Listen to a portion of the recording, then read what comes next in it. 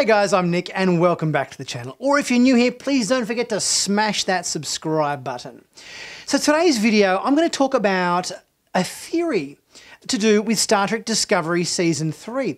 One of the main parts of the trailer that came out a couple of weeks ago was this notion of the burn. Something cataclysmic has happened to the Alpha Quadrant, the Federation has mostly collapsed, and as Booker says to Burnham, this was the result of the burn. A day that something catastrophic happened in the galaxy that caused the way of life uh, in the Alpha Quadrant to make a hard left. So, what is that hard left? What is the burn? There have been a few little uh, rumours and uh, theories uh, going about on the internet since the trailer came out. TrekMovie.com posted an article recently, so a big shout out to TrekMovie.com for that, that I think really warrants further discussion because it really got me thinking about this burn that's uh, happening in season three of Discovery and what might have caused this. And this theory links to an episode of Star Trek Voyager. So let's take a look at some bits and pieces from this Star Trek Voyager episode and see if they might be the reason for the burn in the Alpha Quadrant, which we're going to find out about in Season 3 of Discovery.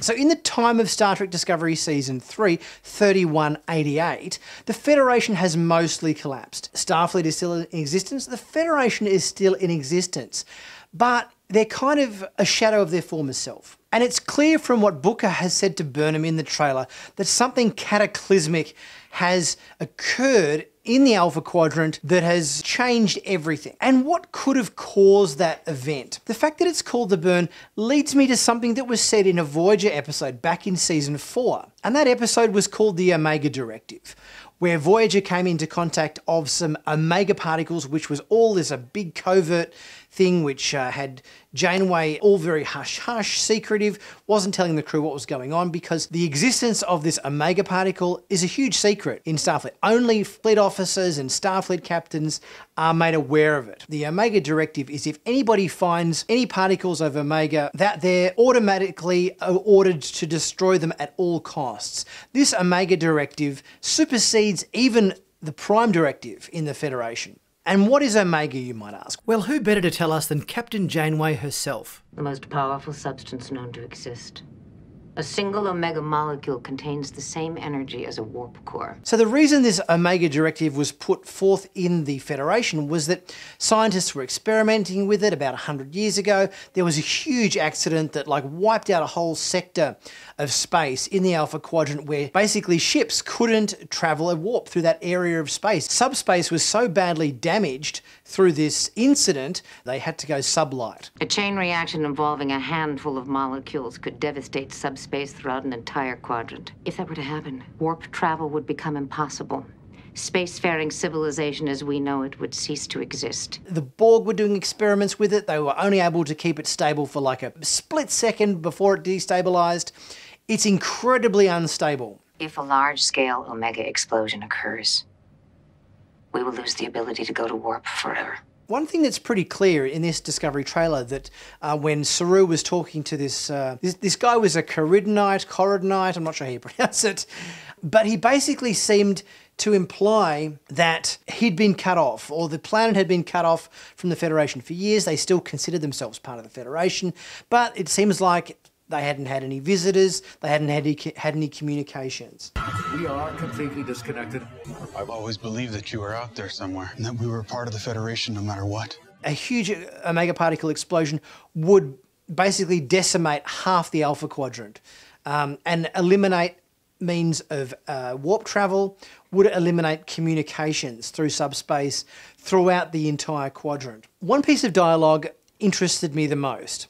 And that was a piece of dialogue that came from Seven of Nine, where she talked about other spacefaring races that had been assimilated by the Borg.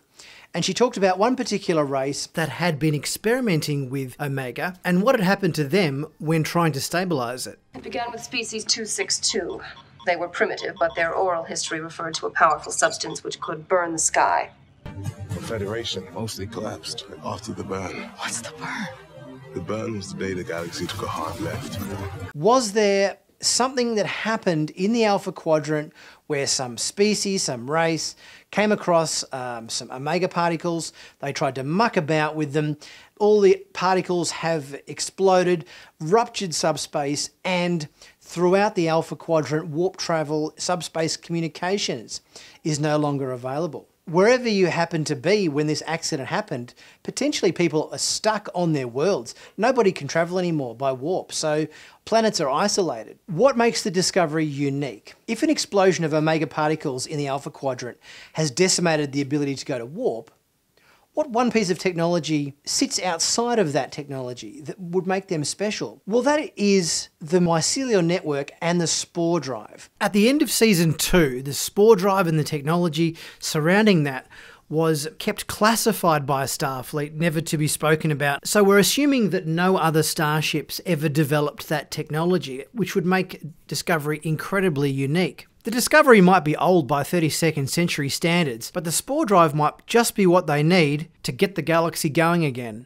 If the Discovery finds itself in the 32nd century and all warp drive is unavailable due to this Omega accident that perhaps happened, the only way to travel around would be by the mycelial network. So it suddenly makes the Discovery the most important ship in the Federation fleet. They would have the ability to travel throughout planets, reunify the Federation, and it would suddenly make a very old ship a very important ship. So if this burn that uh, Book talks about is the burning of the sky that Seven talked about in the Omega Directive, I think this could potentially be the event that um, that is spoken about.